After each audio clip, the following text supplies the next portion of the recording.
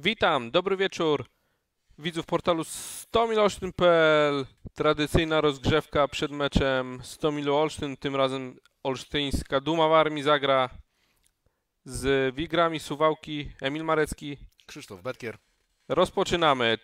Tradycyjny, zawsze dzień przed meczem rozmawiamy, ale sobotę chcemy mieć całą dla rodziny, dlatego wyjątkowo mm, dwa dni wcześniej ta, ta rozgrzeweczka przed najbliższym spotkaniem 100 Milu, a rozpoczniemy od tego, co się wydarzyło wczoraj, czyli 100 Miloczyn grał w Mielcu ze Stalą i niestety przegrał 0 do 1 po samobójczym trafieniu Jonatana Straussa. Słabe spotkanie z Tomilu, ale wcale nie musiało się zakończyć to porażką. Nie musiało się zakończyć porażką. Mm, ja w pierwszym momencie pomyślałem sobie, że to pechowa przegrana z Tomilu, biorąc pod uwagę cały, cały przebieg spotkania, czyli przede wszystkim to, że e, Stomil albo udanie bronił się przez pierwsze 44 minuty e, meczu, albo zawodzili pod bramką Dumy w Armii e, zawodnicy Stali Mielec. Zresztą Stal nie pokazała się chyba z tej swojej najmocniejszej strony. Mm, gdzieś jednak wydawało mi się, że będzie mogła, czy zaprezentuje się dużo lepiej w meczu ze Stomilem. No i zobacz, no i wystar ale wystarczyło to. 3-0 już nie w pierwszej połowie. Nie zaprezentowali się najmocniej tak, jak się spodziewałeś, a na Stomil wystarczyło niestety. No niestety wystarczyło na Stomil. No i później błąd yy, Piotrka Skiby, ta ta bramka samobójcza Jonatana Straussa, ale dobrze się rozpoczyna druga połowa, tak? 406 minuta, yy, druga żółta kartka dla zawodnika Stali. Gramy znów z przewagą i zaczyna się to, co się działo w meczu z Chojniczanką, tak, czyli tak, walenie, czyli głową, walenie w mur. głową w mur. Tylko, że w meczu z Chojniczanką to jeszcze jakieś okazje były. A tutaj dobrze to wyglądało do piątego metra, bo, bo tak naprawdę w tej chwili mamy jeden sposób. Nie no, z Chojniczanką też nie było takiej sytuacji. No. Ale były strzały z dystansu, było inne rozegranie, y, było inne rozegranie. były strzały z dystansu. Było inne rozegranie. Karolina rzutów, strzelał z dystansu. No, no strzelał, no, no dobrze, no strzelał, tak? Popisał się dwa razy, raz nawet prawie, że zaskoczył bramkarza Stali, ale mm, no, jednym sposobem finalizacji ataku, czyli zagraniem e, do Jaśka Bucholca, który bardzo dobrze znowu zagrał, tak? I który wbiega pod końcową linię i dośrodkowuje gdzieś taką fajną, mocną piłkę na krótki słupek albo pomiędzy dwóch e, obrońców, no to jednak tylko takim sposobem nie da się tego sfinalizować. A Karolina, jak już e, napomknąłeś, no zagrał jednak lepiej niż z Chojniczanką. Gdzieś te próby strzału, kilka fajnych odbiorów, gdzieś się później w drugiej połowie zgubił, tak? Gdzieś się zgubił w tej grze do przodu, ale z kolei może tutaj teraz on nie miał y, z kim współpracować za bardzo na tej lewej stronie, bo sam Van Hufel, Van Hufel niewidoczny, dużo więcej się spodziewałem po, po nim, gdzieś się chłopak spalił. No a jak już Mateusz Gancarczyk wszedł, no to wszyscy widzieli, tak? Jedno, jed, jeden strzał, tak naprawdę jedna, y, jedna czynność w tym meczu, czyli ten strzał bardzo niecelny, z bardzo dobrej pozycji, fajne podanie e, dostał z prawej strony, ale e, a, i jeszcze faulował, tak, w głupi sposób e, zawodnika Stali gdzieś tam przed olsztyńskim polem karnym. I to wszystko, co zapamiętamy tak. z tego meczu w, jego akurat wykonaniu. Mówisz, tak? że nie było sytuacji. No, nie była sytuacja, chociażby Artur Siemaszko, po którym o, o, wiele więcej się spodziewałem w tym spotkaniu. Znaczy, miał, no, miał, fajnie się zapowiedział, bo te miał sytuację, miał tam sytuację, powinien strzelić bramkę. Tak, powinien. Tylko podał do bramkarza później, nie wiadomo, nie wiadomo dlaczego, dlaczego tak zrobił. Tam powinien sieknąć bramkę i, i dlatego ja byłem strasznie wściekły po tym meczu, bo, bo zagraliśmy słabo, a mogliśmy a powinniśmy stamtąd wywieźć punkt, jeden punkt. Co najmniej, tak. To prawda. Jeden punkt, bo grając całą, całe 45 minut w przewadze jednego zawodnika, no to jest obowiązek strzelić bramkę, grając ofensywny futbol. To, to powinno. Szczęście dopisało w, w, w, z meczu z Choniczanką, tak? A tu niestety zabrakło tego wykończenia, tych umiejętności w polu karnym, żeby tą akcję wykończyć, bo, bo tych akcji trochę ofensywnych rzeczywiście było.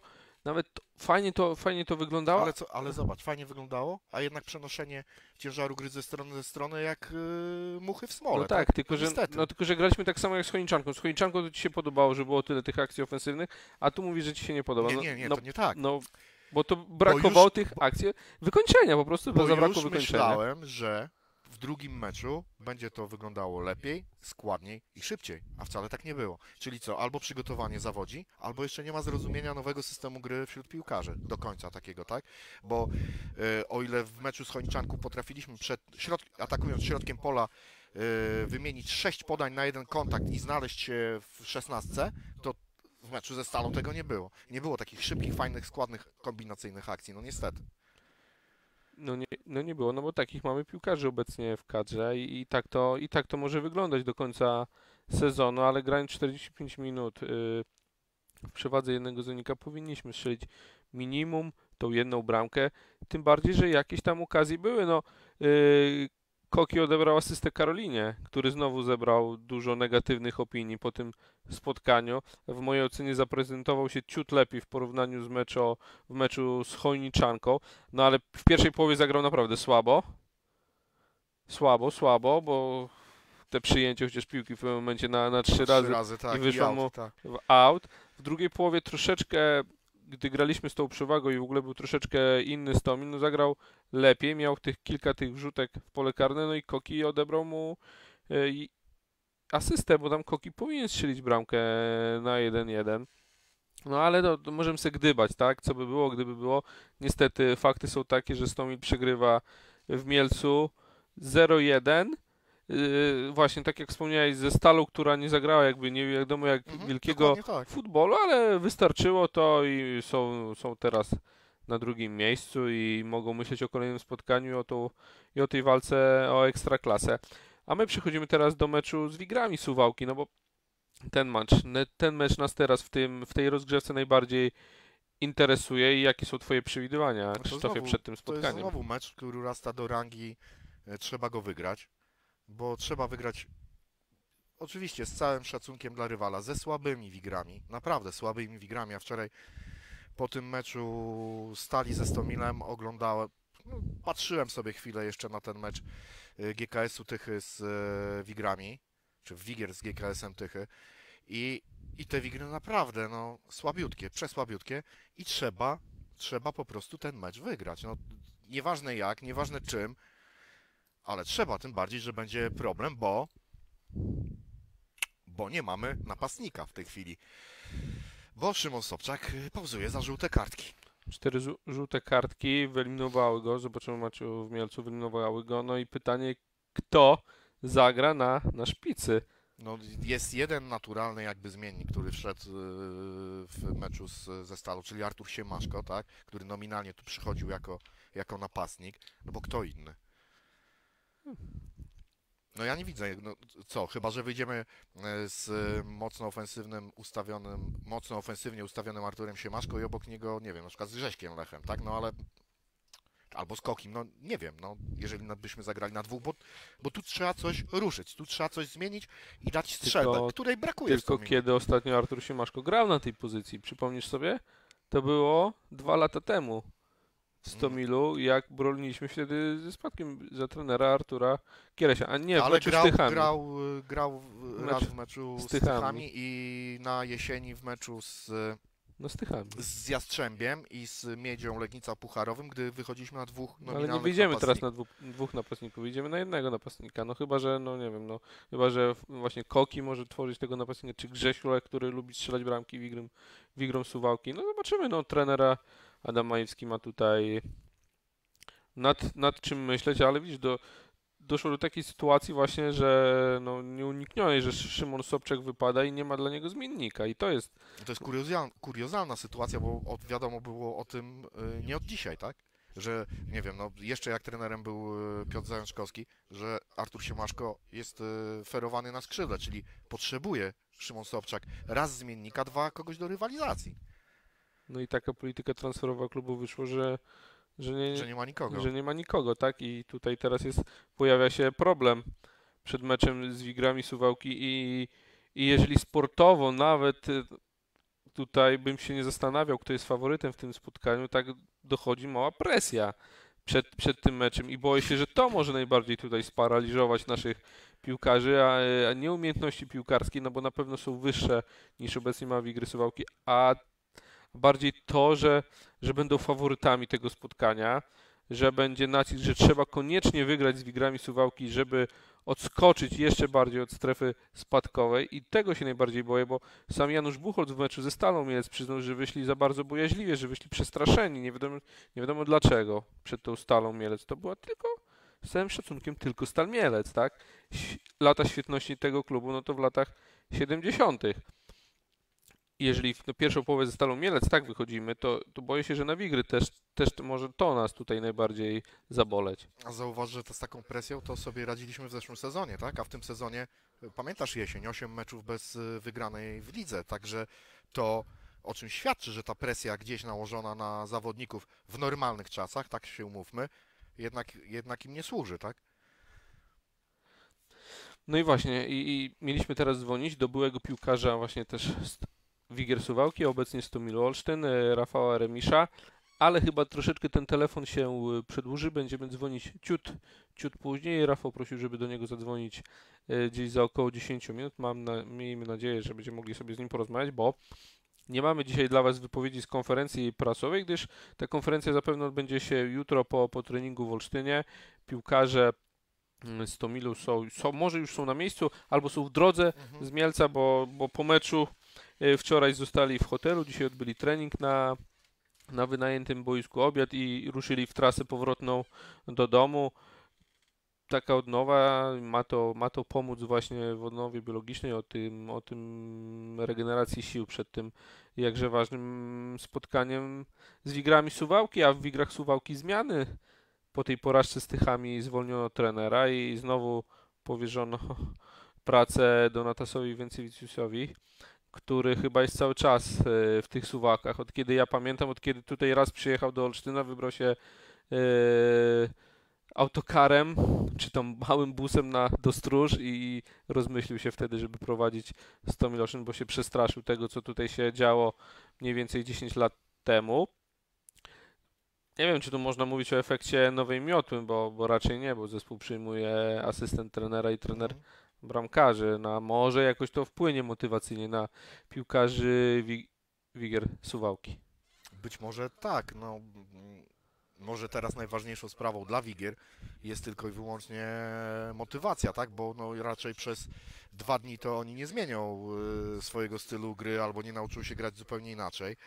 Natomiast y, mogą tutaj wyjść y, na tym sportowym nerwie, żeby nie powiedzieć bardziej dosadnie i i, i mogą tutaj ambicją nadrobić y, to, czego brakuje im y, po prostu czysto piłkarsko. No zobaczymy, zobaczymy jak to, jak to będzie wyglądać.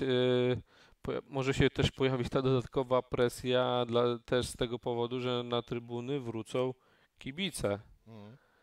W około 700 osób, jeżeli będzie komplet y, sprzedanych biletów. Klub poinformował mniej więcej o godzinie 19, że zostało 300 wolnych biletów, więc to wygląda na to, że karnetowicze jakoś tak nie palą się do, do odbioru tych swoich wejściówek. No i zastanawiam mnie, czy będzie komplet. A właśnie, ile było tych karnetów No nie sprzedanych? wiem, Bo, nie wiem ile było sprzedanych karnetów. bo wydaje mi się, że około 300, także y, dużo tego nie było w każdym razie. No zobaczymy, zobaczymy właśnie, czy, czy no bo ta atmosfera, to co się widzi e, w grze 100 minut, to jakby nie napawa tutaj e, tym, żeby lgnąć w niedzielę na ten stadion, tym bardziej, że ograniczona nie będzie kibiców gości, tak, to zawsze podnosi frekwencję, zawsze podnosi atmosferę. Nie będzie też jakby takiego super dopingu, no bo młyn też będzie w ograniczonej ilości. Tak więc, no nie wiem, czy tak się aż wszystkim mocno chce wrócić na ten nasz olsztyński stadion po tej pandemii. No dobrze, y, mam informację od Rafała Remisza, że możemy do niego dzwonić, więc y, wykorzystamy teraz tą, tę okazję i, i, i zadzwonimy do Rafała, chwilę sobie z nim e, porozmawiamy. Okej, no to ja odłączam nasze mikrofony i przechodzimy na ten wspólny mikrofon i już dzwoni. Krzysiu. E,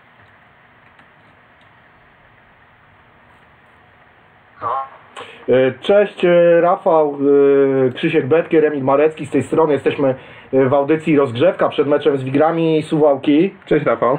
Cześć, cześć. E, Rafał, tak na, na początku e, powiedz, jak, e, jak twoje zdrowie, jak ten twój powrót do zdrowia przebiega, mm, e, jakie są przewidywania na najbliższy czas? No mogę powiedzieć, że wszystko idzie tak jak powinno i się to po etapie idę do przodu. Ja jestem ogólnie zadowolony z e, postępów, które robię praktycznie z tygodnia na tydzień, a przewidywalny czas powrotu to e, myślę, że wrzesień, bo już tak, tak rozmawiałem z lekarzem, który prowadzi e, mnie od samego początku i z naszym klubowym fizjoterapeutą no, celują właśnie we wrześniu, że wznowię treningi na boisku. Mm, Bo sieci już e, pojawił się ten filmik, w którym e, zaczynasz biegać, więc, więc już jakieś te większe obciążenia e, zaczynasz sobie dokładać. Tak, to właśnie akurat jest ten już fajny okres, w którym się już skupiam nad tym, co, co robię praktycznie na cały czas, bo e, tu w tym tygodniu mogłem za- właśnie zacząć biegać. Mam nadzieję, że zaraz się przyniosę na, na boisko, bo zupełnie inna w ogóle będzie praca i no coraz, coraz e, odważniej mogę tak e, powiedzieć.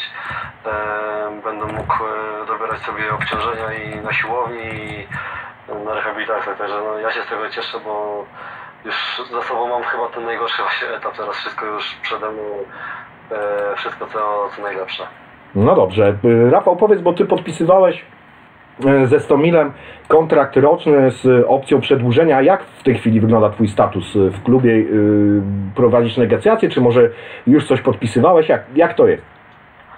E, No tak, 30 czerwca kończy się mi kontrakt, e, ale już właśnie tutaj prezes na początku e, ze mną rozmawiał indywidualnie, teraz jest po rozmowie z moim menadżerem i klub wyraża chęć przedłużenia ze mną e, kontraktu. No teraz po prostu teraz trzeba dogadać e, szczegóły w najbliższych e, dniach. Mhm. E, powiedz mi, ty patrzysz e, no, przez, tą, przez tę kontuzję od jakiegoś czasu z boku na Stomil. Mm, e, Jak oceniasz to, co się ostatnio wydarzyło? Zmianę trenera, zmianę stylu grania? E, Jak ty to widzisz z tej odległości? Znaczy no, ja może tego e, nie będę oceniał, no bo to wiadomo, że w piłce jest tak, że e, no często może nastąpić ta zmiana trenera, zmiana stylu gry. Tak się teraz stało u nas. E, można powiedzieć, że takie troszeczkę o 180 stopni będzie tego obrót e, naszej taktyki.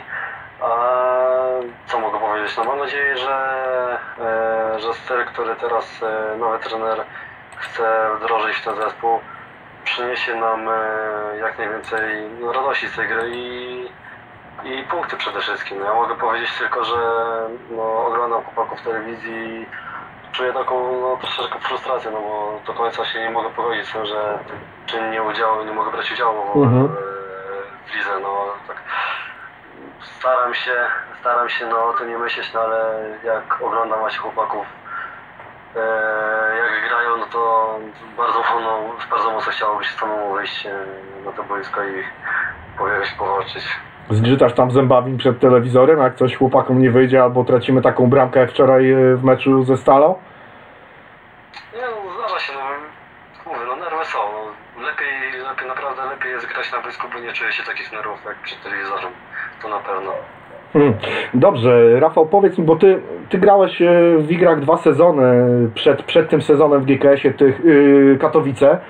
Mm, ale to był, to był zupełnie inny czas e, w Igrach, bo tam e, wtedy było dobrze i były jakieś mocarstwowe plany e, związane z awansem do Ekstraklasy, prawda? No tak, tak jak przychodziłem, to od razu było hasło zarzucone, że chcemy zaatakować. Wtedy właśnie jak przychodziłem do Wigier, chcemy zaatakować tą ekstraklasę. Można powiedzieć, że dwa razy mało nam brakowało, bo za pierwszym sezonem kilka kolejek przed końcem, już pamiętam właśnie chyba w głowie to było, że przegraliśmy mecz i tym sobie zap- pogrzebaliśmy szansę.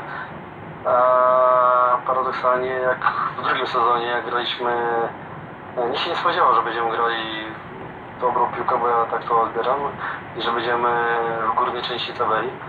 E, Później wyszły takie plany, że można zaatakować e, znowu tę ekstraklasę i paradoksalnie właśnie pogrzebaliśmy sobie e, tą szansę chyba meczem e, ze Stomilem. Właśnie wtedy w Suwałkach 2-1 przegraliśmy bodajże.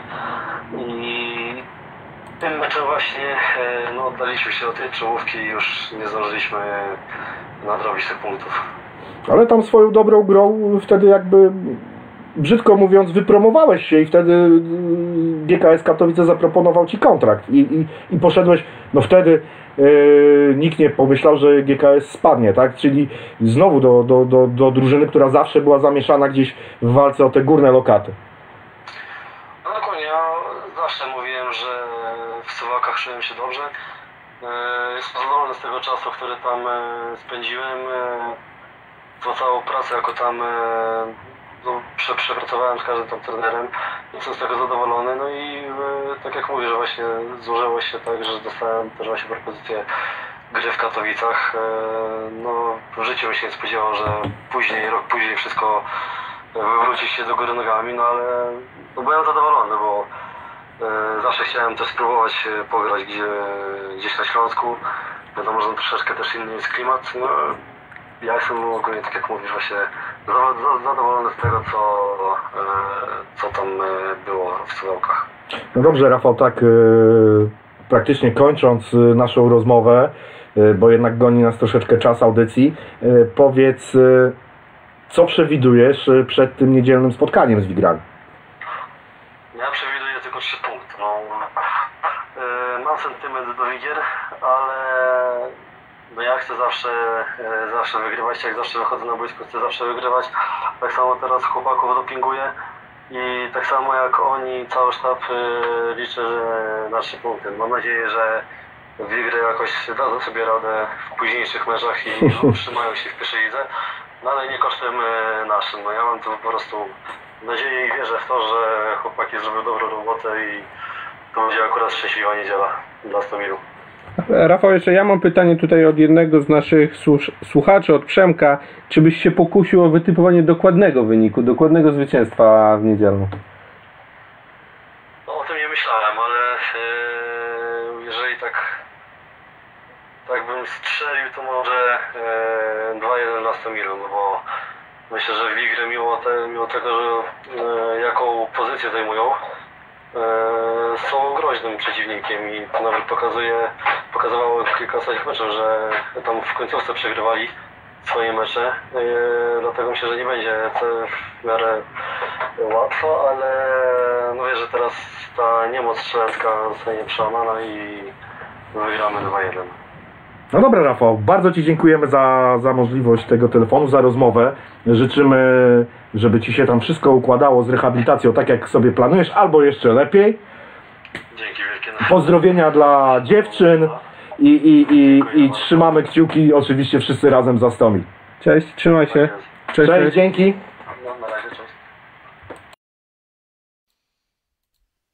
Za nami rozmowa y, z Rafałem Remiszem. To taki właśnie jeden z elementów naszej rozgrzewki. Będziemy chcieli ją y, wprowadzać jak najczęściej, czyli rozmowa na żywo, czy to z piłkarzem, czy to z kimś innym związanym, y, związanym i ze Stomilem, i, z najbliższym rywalem.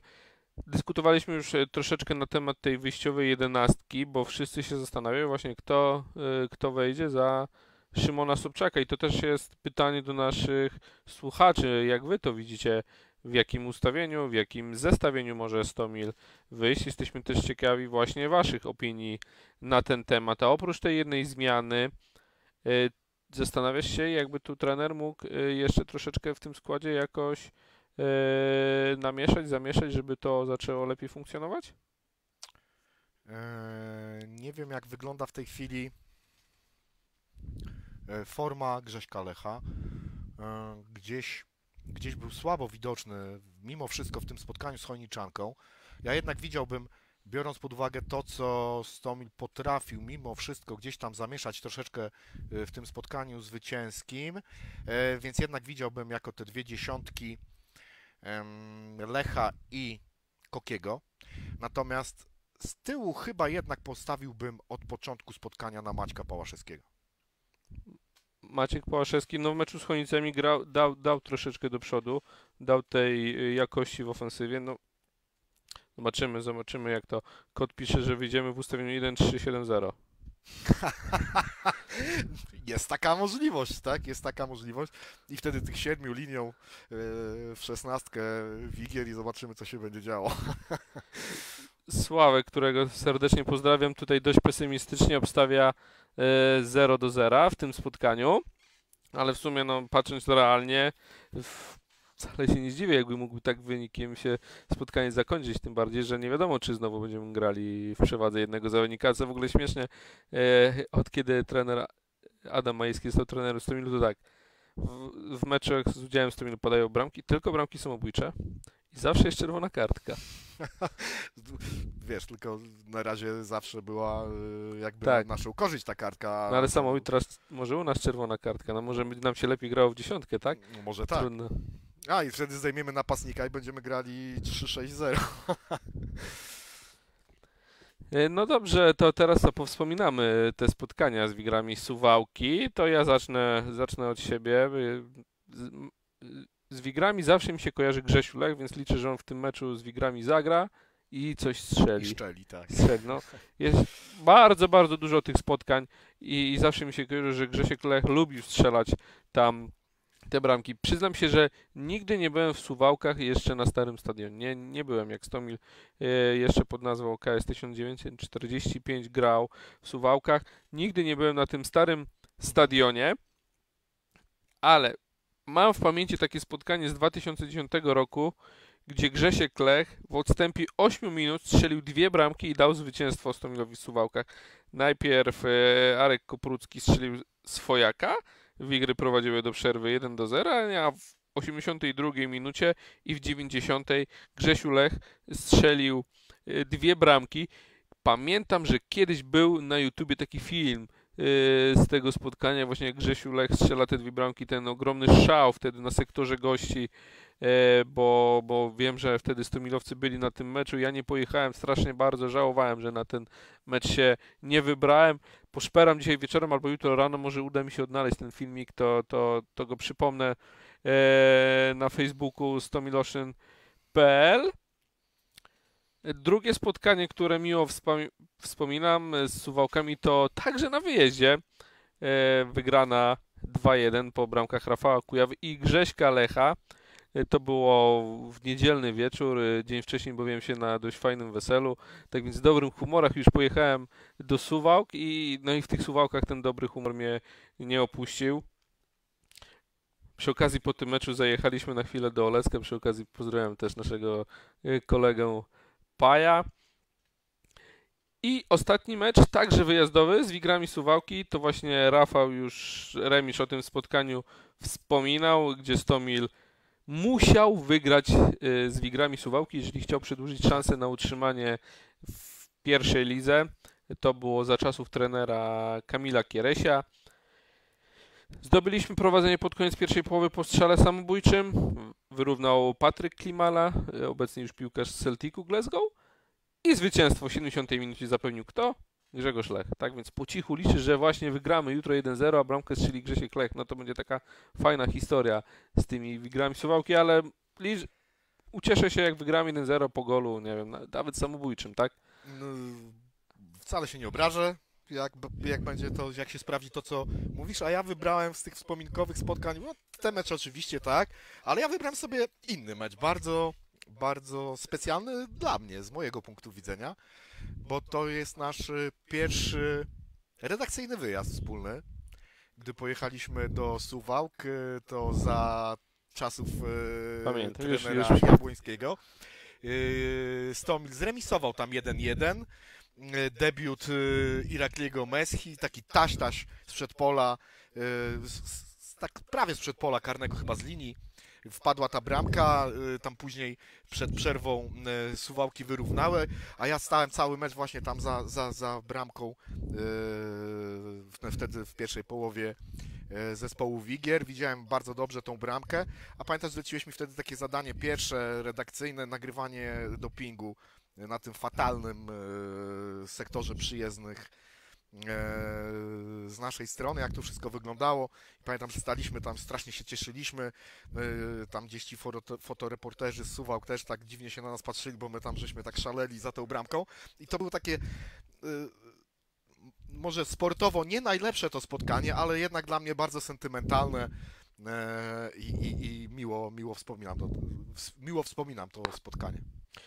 A właśnie tu Jarek e, pyta a propos tego sektora gości. Ja wspominałem, że e, tam e, w 2009 roku, no to jeszcze w Suwałkach nie był, nie był ten stadion przed remontem, tak Mhm. więc sektor gości był wtedy bardzo fajnie ustawiony i wszystko było z niego widać. Po remoncie, no to rzeczywiście nic tam, praktycznie nic nie widać, tak? Z tego sektora gości tam, no my akurat te, te kolejne mecze, no to ja z pozycji fotoreportera oglądałem, no to ja byłem blisko bramki, więc Ja raczej z tej dziupli tam na górze. to, to wszystko widziałem, ale z sektora gości w Suwałkach rzeczywiście e, nic, nic nie widać. Kamil Miałkowski pyta się, czy gramy jutro, czy w niedzielę. Gramy oczywiście w niedzielę, 15.10, transmisja w Polsacie Sport, a my e, rozgrzewkę nagrywamy dwa dni wcześniej, ponieważ sobotę chcemy całą poświęcić dla rodziny. Nie mielibyśmy możliwości nagrania tego programu w sobotę. Znaczy byśmy mieli na pewno możliwość, Tak, ale no. no ustaliliśmy tak, że nagrywamy ją ciut wcześniej. Chyba się na to nie pogniewacie. I co? Jeśli macie jeszcze jakieś e, pytania, co z transferami? Coś wiadomo? No, no na razie nic, nic nie wiadomo. Nie będziemy tutaj strzelać i, i tutaj e, wiem, gdybać. E, Na pewno e, w następnym tygodniu to już na pewno ustalimy, znaczy usta- nie wiem, czy nam się uda ustalić, ale podpytamy tych piłkarzy, którym się kończą kontrakty, czy, czy klub im proponuje, tak? Bo Rafał właśnie tutaj mówi, że dostał propozycję, Lukas Kuba nie, wcześniej nie dostał, może teraz już dostał propozycję, musimy się o to, o to dopytać. Z tego co, co wiem, to jeszcze nie dostał. W tym tygodniu na to ja osobiście nie miałem czasu, ale już sobie zaplanowaliśmy tutaj w redakcyjnym planowaniu, że o tym, o tym e, będziemy e, porozmawiać, więc jak nie podczas podcastu, to na następnej rozgrzewce, albo zapewne podczas artykułu na stamilocznym.pl o tym Was poinformujemy, a, a ostatnio w, tamtym tyg- w tym tygodniu, czy w zeszłym pojawiła się informacja, że Stomil jednak zatrudnił e, tak zwanego Ryśka z San Marino, jak ja go nazywam, umownie, chociaż nic do chłopa nie mam, tak, ale no taka pocieszna, pocieszna ksywka. Jednak Stomil nie podpisał z nim kontraktu, jak się pojawiła informacja, że go wypożyczył do huragana, huraganu Morąg, tylko po prostu on miał podpisać z huraganem Morąg e, kontrakt jako wolny zawodnik. E, Na stomiloszyn.pl przeczytacie artykuł autorstwa redaktora Kota na ten temat, a dalej o transferach nie będziemy tutaj e, strzelać, wymyślać i robić wam jakieś nadzieje w tym temacie. Dokładnie tak.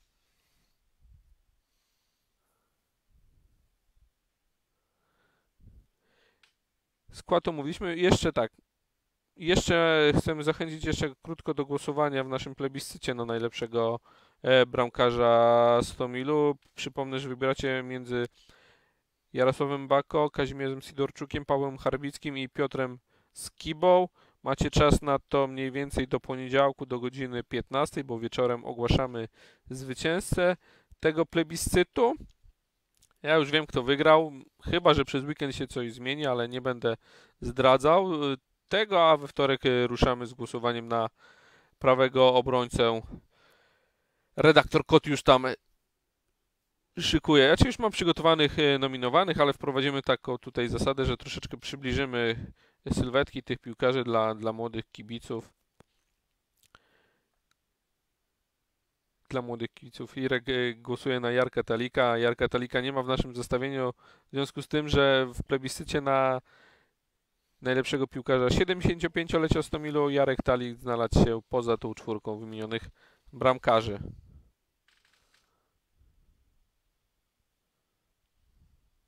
To co? Przechodzimy do analizy ligowej kolejki?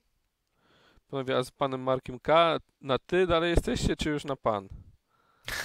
A cóż to za pytanie? nie, nie, no bez przesady. No, to, to jesteśmy per ty, no to jesteśmy per ty, no nie widzę tutaj możliwości, żeby, no chyba, żeby Marek nagle by sobie zażyczył, że nie, nie mówcie mi teraz ty, tylko per pan, nie, bez przesady. No to Kamil, wyprzedziłeś to co, to, co powiedziałem, a może warto zrobić krótki opis tych nominowanych. Tak właśnie to dzisiaj zaproponowałem dla, dla Kota i powiedział, że, że będzie to robił. No już czasu nie cofniemy z bramkarzami. Ale tutaj jeszcze chciałbym tu jedną... Tutaj pytanie kota szukam, na które został od Paweł odpowiedział. Nie wiem niestety na, na, na które pytanie odpowiedział, żebyśmy też mogli się do tego odnieść, bo nie wiem czy to było pytanie też do nas, czy nie. No trudno.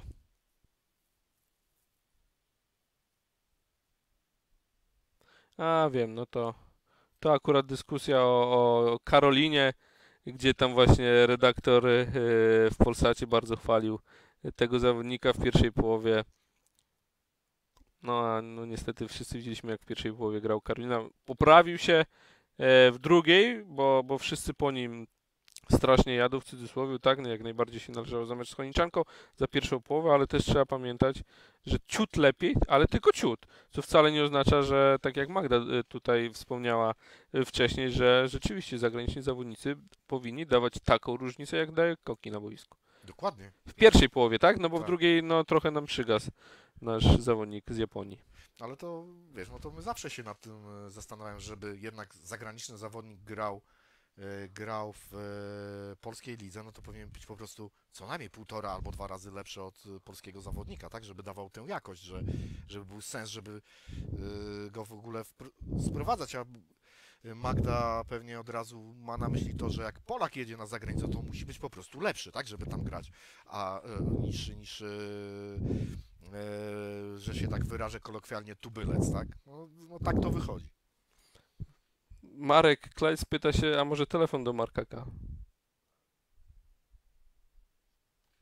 No, oczywiście, no, pewnie, że możemy zadzwonić, jasne Marku. To ja już wybieram numer do ciebie. Jak masz tam coś do powiedzenia, to bardzo dobrze. E, Więc szykuj się Marek, ja już, już szukam cię w e, swoim telefonie i dzwonię.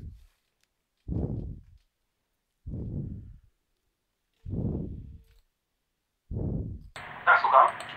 Cześć Marku, jesteśmy na antenie. No dzień dobry, witam was serdecznie. E, Jesteśmy Perty i zawsze będziemy Perty. Wiecie o tym bardzo dobrze, jeżeli ktoś uważa, że tak nie jest, to jest w ogromnym, gargantuicznym błędzie. No te, też tak trochę się zdziwiłem tym pytaniem, ale tak. A to takie z przymrużeniem trochę było Słuchajcie, to ja też, pytanie. ja też się dziwię e, o wiele pytań w ostatnich trzech tygodniach, od kiedy pracuję w Stomilu, ale wydawało mi się, że nic mnie nie zdziwi i wiele rzeczy mnie zdziwiło i dziwi i pewnie jeszcze zdziwi mnie bardzo, bardzo dużo, zanim, zanim coś tam się wydarzy. No jak byś ocenił tą swoją pracę przez trzy tygodnie w klubie? Bardzo, bardzo dużo właśnie tych rzeczy cię zaskoczyło? Myślę, że, że będzie łatwiej, ciężej. Jak ty to ocenisz? Myślałem, że będzie inaczej. Nie powiem, że łatwiej ciężej. Od trzech tygodni, 12 godzin dziennie, 7 dni w tygodni jestem w klubie. Dzisiaj godzinę temu wróciliśmy właśnie, nie całą godzinę, nie godzinę, równo o 20 zameldowaliśmy się w Olsztynie, ale, ale słucham waszej rozmowy i, i nie o tym. E, chciałem wam powiedzieć, że delikatnie pompowałem przez pół podróży Artura Siemaszkę, że mam go w swoim składzie w Fantasy Lidze. Staram go po raz pierwszy i mam nadzieję, że mnie nie zawiedzie. To powiedział, że jak jestem taki cwaniak, to żebym go zrobił kapitanem, bo trzy w niedzielę strzeli. No, ja się, nie wiem, czy go zrobię kapitanem, ale, ale mam nadzieję, że mam nadzieję, że odpali. No ale tu zdradzamy, Jezu, Wigrom, y, jakieś tajemnice yy, ustawienia z niedzieli. Nie, żadne, żadne ustawienia z niedzieli. Ja nie jestem trenerem, liczę na to, że Artur zagra. A jaki będzie skład, dowiemy się e, piłkarze 4 godziny przed meczem, a dziennikarze godzinę przed meczem, bo tak jest ustalone, tak jest ustalone chyba na całym świecie i żaden dziennikarz 30 godzin przed meczem nie dowie się o składzie na mecz, co miało miejsce podczas ostatniej co miałoby miejsce podczas osta- ostatniej konferencji prasowej. E, W Olsztynie, w Stomilu Olsztyn nie będzie nigdy jakiejś cenzury, nie będzie jako dziennikarz absolutnie e, nie mógłbym sobie spojrzeć w oczy, jeżeli kiedykolwiek komuś byśmy coś zabraniali. Nie będzie cenzury, nie będzie kwestii takich, że, że w Olsztynie dziennikarz nie zadaje pytań lub coś się sortuje. Dopóki no ja jestem w klubie, mam nadzieję, że, że, że tak będzie jak już odejdę, bo na pewno kiedyś to nastąpi. Mm, wiem do czego pijesz, ale tam chyba faktycznie tak wyszło, że któreś z pytań e, jednego z redaktorów olsztyńskich redakcji nie zostało przedstawione na, na, na tej konferencji. No ale to już mniejsza o to. Nie zosta- bo zostało przedstawione po konferencji, e, po, po meczu z Chonicami. Sam zadałem to pytanie, osobiście. Więc e, trzy dni później ponawianie tego samego pytania, no raczej nie miało sensu, chyba, chyba, że, chyba, że zobaczycie inaczej. Dokładnie to samo pytanie zadałem tuż po meczu z Choniczanką w Chojnicy.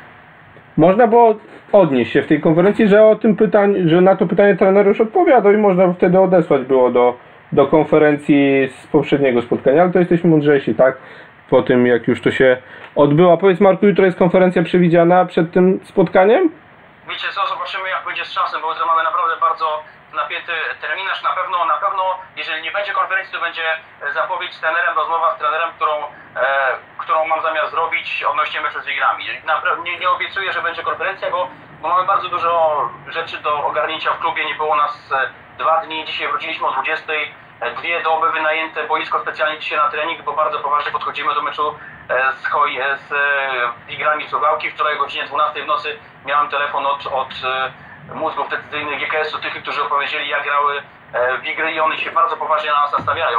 Pytanie teraz po zmianie trenera, jak, jak zagrają, czy, czy cofną się, czy pójdą na otwartą, z otwartą przybicą na nas, to zobaczymy jak to będzie. Na pewno to będzie trudny mecz i, i, i chcielibyśmy się odpowiednio przygotować, chcielibyśmy do tego podejść bardzo profesjonalnie i ten mecz wygrać. Mam nadzieję, że wszyscy tego chcą. Ale przed tobą też takie delikatne wyzwanie, bo na stadion wracają kibice. Tego jeszcze jako pracownik klubu nie przeżywałeś, że będzie mecz z kibicami.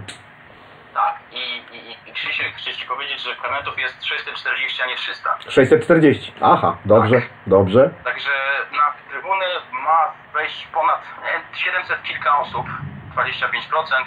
700 kilka osób wejdzie na, na trybuny. Niestety, e, jeżeli chodzi o dziennikarzy i musimy trzymać to, co, co PZP nam nakazuje, czyli 10 dziennikarzy i 5 fotoreporterów tylko może wejść na mecz, więc, więc e, nie myślcie, że, że Clyde jest złośliwy, bo nie jest i chce i wierzy, że chcecie wszyscy jak najlepiej i, i, i może nie wierzycie, że ja chcę jak najlepiej, ale bardzo chcę do, dla, dla tego klubu. To jest mój klub i będę chciał całe życie chodzić z, z podniesioną głową, bo jestem z tego miasta i tu pewnie będę mieszkał. Dlatego nie mam zamiaru się tłumaczyć, zawsze patrzę sobie w oczy, mogę się spotkać z każdym, porozmawiać. Każdy popełnia błędy, absolutnie ja też. Ja też i każdy będzie popełniał błędy, chodzi o to, żeby na tych błędach się uczyć. Jasne, to, I to, tak- to, tak to I wiadomo. tak to ma wyglądać, i tak to ma wyglądać. I tak to będzie w Stowilu, mam nadzieję, i, i że niektórzy to docenią wcześniej czy później. Czyli za, wyciągamy wnioski, czyli kosiarki nie będzie podczas wywiadu z trenerem Majewskim włączonej teraz. No Osir, Osir obiecał, że, że nie będzie kosił wtedy, kiedy, kiedy będą wywiady z trenerami, z piłkarzami i, i za chwilę mam nadzieję będzie nowy sprzęt i za chwilę zrobimy kolejny krok ku, nie powiem normalności, ale, ale ku lepszemu funkcjonowaniu klubu. No i co mam, co ja mam powiedzieć? No chciałbym, żebyście nas dobrze oceniali. Oceniacie nas różnie, ale mam nadzieję, że wcześniej czy później zmienicie o nas zdanie. Ci, którzy rzeczywiście mówią o nas źle i bardzo źle.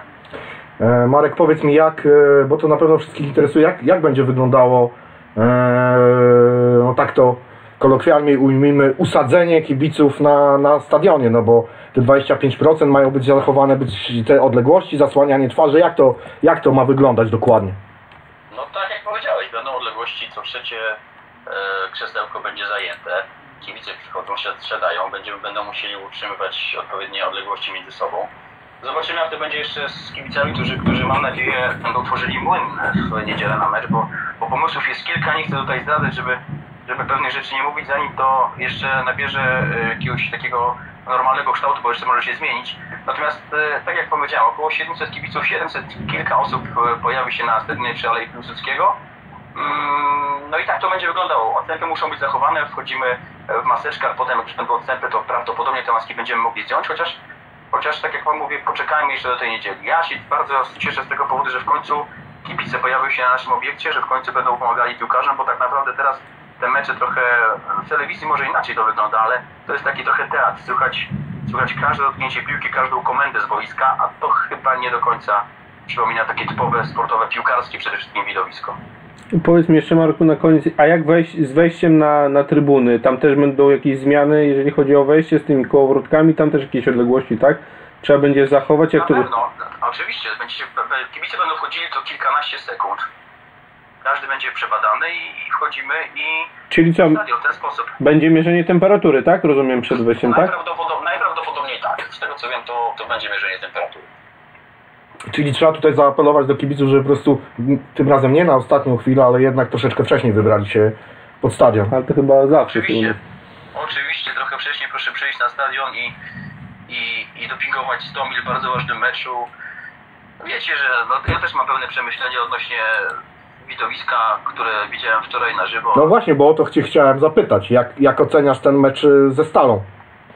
No wiecie, jeszcze trzy miesiące temu, dwa miesiące temu mógłbym sobie swobodnie mówić, a w tym momencie, no, wiecie, że kilkakrotnie mówiłem, jak zapraszaliśmy piłkarzy, że pewne rzeczy nie można mówić, bo, bo po prostu są pracownikami klubu i nie wypada. I ja chcę być uczciwą osobą w stosunku do, do, do klubu. Jest e, pion trenerski, ja im też bardzo ufam, widzę, że są zmiany, widzę, że są zmiany w rozegraniu, ale nie chcę się zagłębiać w to, bo bo po prostu to nie jest moja działka w tym momencie i ja nie powinienem, bo jestem uczciwą, ucz- uczciwą osobą, najzwyczajniej w świecie. Ale tak właśnie jako... Każdy, każdy, z was, każdy z was może sobie ocenić pewne rzeczy. Mówicie, że w postaci chwalili Karolinę, inni jego ganią.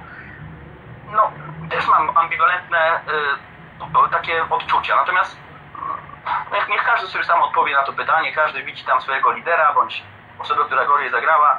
Fakty są takie, że żeby zmienić system gry potrzeba czasu i to jest bardzo ważne, a jak my chcemy grać ładnie dla oka i, i wygrywać, to ten czas jednak e, prac- pracuje nam, dla nas i czy to będzie za, no za 2-3 tygodnie chciałbym widzieć pierwsze symptomy i już coś tam widać i nie ukrywam, że nie. Natomiast e, ten, mm, nie powiem, że wystrzał e, jakościowy, bo, bo, bo nie chcę używać słów, ale takie dobre granie chciałbym widzieć na początku przyszłego sezonu, żebyśmy rzeczywiście byli drużyną, która, która już taką otwartą przemysłą powie, że walczymy o, barażek. Mam nadzieję, że wszyscy będziemy zadowoleni, że będziemy, będą nas inne drużyny bały, będziemy mieli swój styl, będziemy strzelali gole, będziemy stwarzali sytuacje. Ja też o tym marzę, chciałbym to widzieć i mam nadzieję, że za kilka tygodni, może miesięcy będziemy to oglądali i będziemy wszyscy kibicowali Stomidowi. Czego oczywiście sobie, wam i wszystkim kibicom w Olsztynie życzę. No i co? I do pracy. Praca, praca, praca i, i do przodu. Marku, jeszcze na koniec, już naprawdę na koniec, pytanie od naszego jednego słuchaczy, też Marka, a co z karnetami sponsorskimi, gdzie, gdzie oni siadają, ci posiadacze tych karnetów sponsorskich i czy też muszą wymienić to na bilet, czy oni są w systemie, jak to wygląda? Trzeba to rozmawiać z innymi osobami. Ja od garantów sponsorskich nie wiem, nie chcę tutaj wprowadzać nikogo w błąd. Też miałem pełno informacji dzisiaj, telefon mi się grzał w autobusie, wiele osób wypytywało mnie, jutro będę w klubie od godziny 9, to będę to wszystko ustalał, będziemy rozmawiali. E, Nie chcę oszukiwać kibiców, że w tej kwestii jestem omnibusem, bo nie jestem. Po prostu. Jutro będę w klubie, będę wiedział więcej, więc proszę się dowiadywać jutro i na pewno, na pewno nikogo bez informacji nie zostawimy. No dobrze, to dziękujemy Ci Marku za, za rozmowę i, Pozdrawiam Was serdecznie. i obyśmy byli w dobrych humorach y, w niedzielny wieczór. Na to liczę. Trzymajcie się, pozdrawiam. Cześć Marku.